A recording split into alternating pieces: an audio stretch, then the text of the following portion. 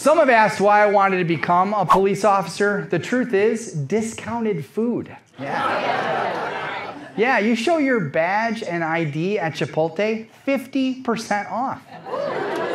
You show your gun, 100% off. Wow. Pig scum? Really? I guess my uncle from Thanksgiving made it out to the show. Get up stage, pig! Wow. Pig. Are you still mad because I arrested you for jerking off in the park?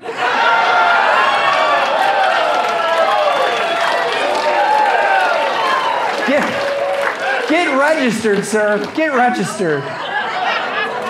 Oh, is he leaving? I thought I thought I was the pig. He's the one choosing the wee wee wee all the way home. That's all right.